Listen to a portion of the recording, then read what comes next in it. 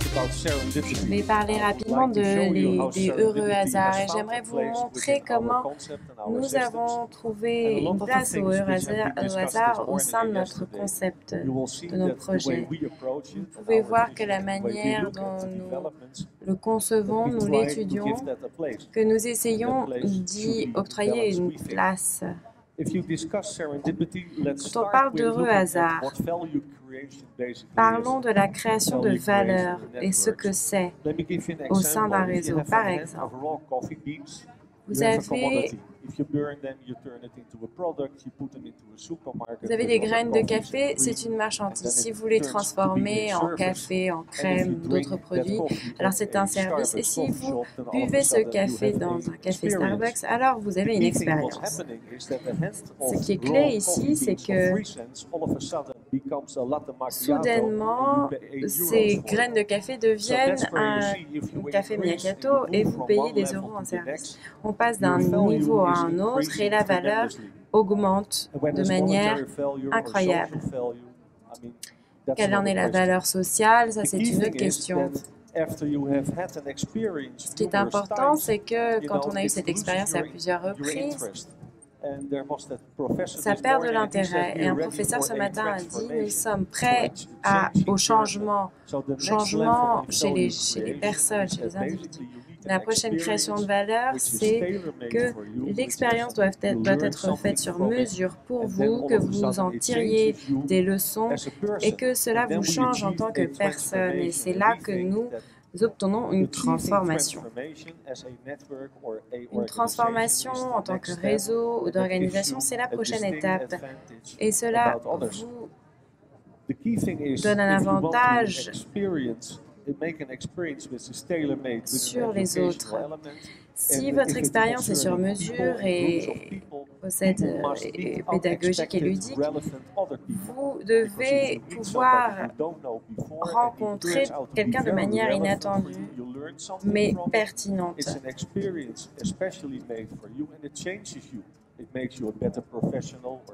Cela vous permet d'être un meilleur professionnel, une meilleure personne, un meilleur fournisseur. Et cette expérience inattendue, pertinente, c'est ce qu'on appelle dans notre organisation un heureux hasard. Pouvez-vous créer un heureux hasard, même si c'est censé être inattendu? Est-ce que vous pouvez faire en sorte que cela fonctionne pour vous et pour que cela transforme notre réseau. Je pense que l'économie de partage et collaborative est capable de faire cela. Et si nous sommes capables de le faire, nous pouvons facilement travailler ensemble sur ces grandes plateformes comme Jeremiah Young l'a dit, ces grandes plateformes qui représentent 1%, devons-nous les concurrencer? Non, ces plateformes sont là et seront là. Certaines plateformes ne sont pas durables et dès que nous aurons trouvé une meilleure alternative, nous nous en éloignerons et passerons à la suivante. N'oublions pas que nous vivons dans une période de transition où nous passons d'une ère à une autre. Ça ne veut pas dire que Uber ou Google existera dans cinq ans. Il n'y a aucune garantie possible. Cependant, si vous regardez ces plateformes, on voit qu'il y a une différence de technologie, d'échange, et il y a des, un espace pour quelque chose de nouveau.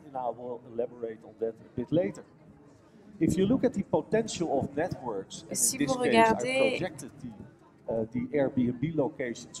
ces plateformes, par exemple Airbnb à New York, ce sont des chiffres élevés. Je n'ai même pas parlé de Windows ou de Couchsurfing. C'est un groupe de personnes hors des villes qui viennent habiter dans ces villes. Ça, c'est les chiffres pour Amsterdam chaque ville devient un hôtel qui s'étend sur la ville. Ça veut dire que nous pouvons connecter toutes ces initiatives de partage avec tous ces visiteurs qui n'habitent pas dans la ville. Alors, vous avez une nouvelle dynamique économique. Je suis des Pays-Bas et il y a beaucoup d'initiatives de partage. On partage tout finalement. Les instruments, le jardin, la nourriture, votre salon, etc. Ce n'est pas l'important. L'important, c'est que toutes ces initiatives fonctionnent au niveau local et fonctionnent seules, en autonomie. Ils n'ont pas besoin de collaborer au sein de l'économie collaborative. Uh, À part Seeds to Meet, nous avons récemment changé, euh, lancé une initiative appelée with Et. Nous croyons fortement en la propriété partagée et des personnes comme Matan Lazou sont prêts à faire ce genre d'initiative également. Et, et oui, les communautés, ceux qui partagent, peuvent prendre le dessus. Et la propriété appartiendra au passé bientôt. Ce que nous avons fait, c'est que nous avons utilisé l'abondance et nous avons convaincu les grandes sociétés à collaborer avec nous, que ce soit euh, en partageant gratuitement leur espace de travail ou autre. Si vous n'avez pas à payer pour votre chaise dans un espace de coworking, vous pouvez payer pour la volonté de partager votre savoir avec les autres personnes qui vont. Vous pouvez trouver des lieux similaires aux Pays-Bas. Aux Pays-Bas, il y a des écoles, des hôpitaux, des hôpitaux, des cinémas, des théâtres. Et ces lieux qui offrent une abondance, nous les lions, lions entre eux. Et ce que vous pouvez observer, c'est que une nouvelle, un nouveau type de collaboration émerge entre les agents libres et les coworkers et les employés. Il y a un nouveau type de dynamique et c'est vraiment fascinant à observer. Si nous pouvons joindre nos forces, vous verrez qu'il y a des cercles de production économique, de makers éducatifs. Ce sont des individus qui utilisent de temps à autre ces plateformes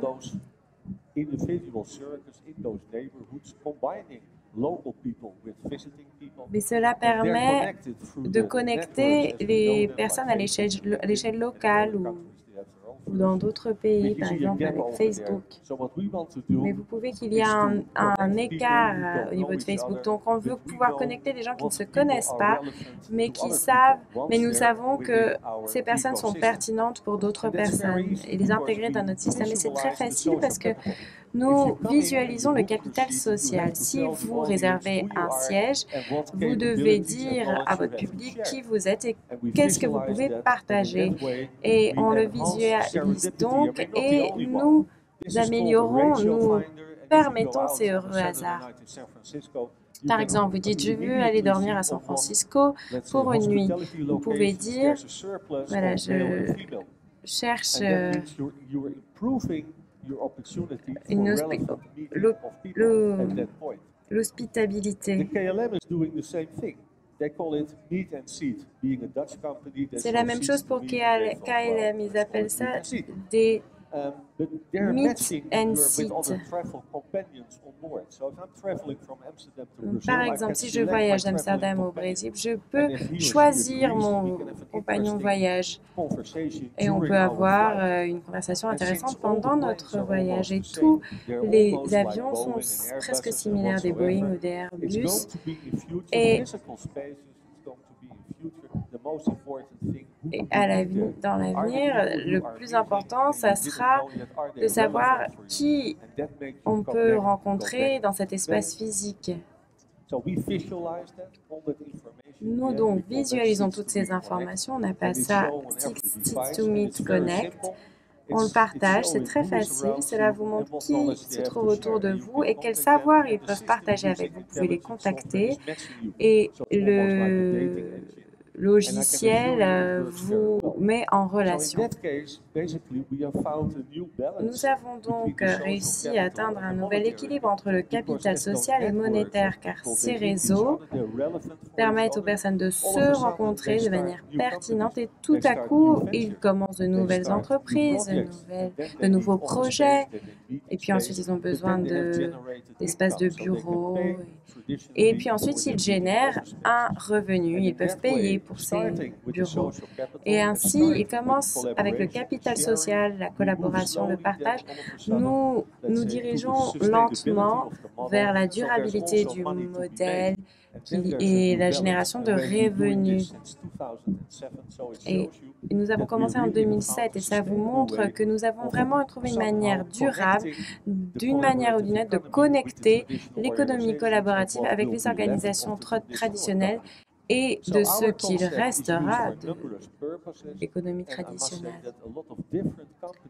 Et je dois dire que nous n'avions jamais pensé à adapter euh, ce concept à d'autres entreprises, mais c'est une bonne chose car plus grand est le réseau, mieux il fonctionnera. Notre prochaine étape maintenant, c'est de nous connecter à toutes les autres initiatives de partage hollandaises parce que le système Systemate sait qu'à 9 heures, il y a un besoin de transformer les entreprises de covoiturage ne le savent pas. Donc, si on peut combiner nos données à ce moment-là, alors tout à coup, le réseau économique va s'accroître et à un tel point que nous allons faire la différence. Je n'ai pas parlé d'argent parce que cela ne, fait que renforcer le réseau et tout à coup, on se rend compte qu'on peut faire la différence. Nous travaillons toujours sur notre projet, évidemment, mais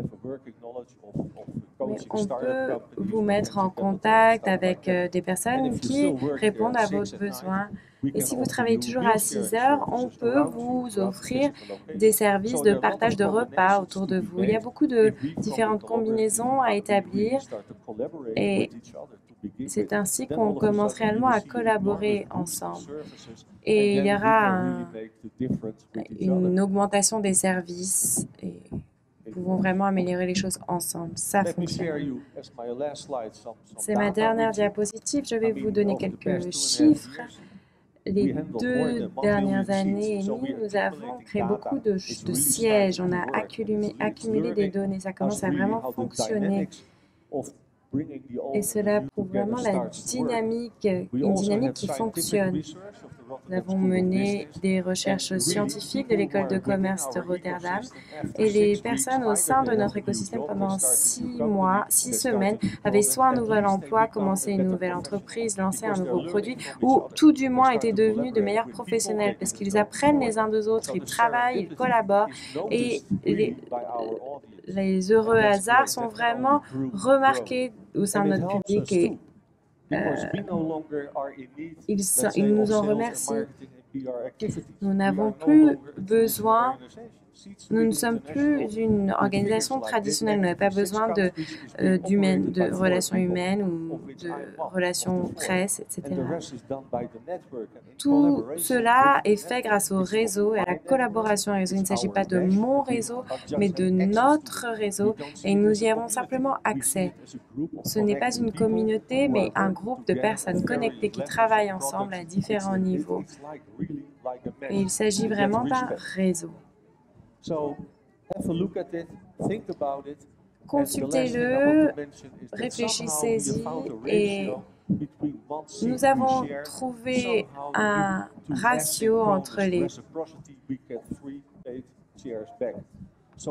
les sièges que nous, que nous vendons et la réciprocité, le profit. Plus le, profit, le projet réussit, plus il devient durable. Vous avez besoin de payer d'impôts et vous aurez donc besoin d'argent pour que les choses fonctionnent. Nous avons donc besoin de profit, évidemment.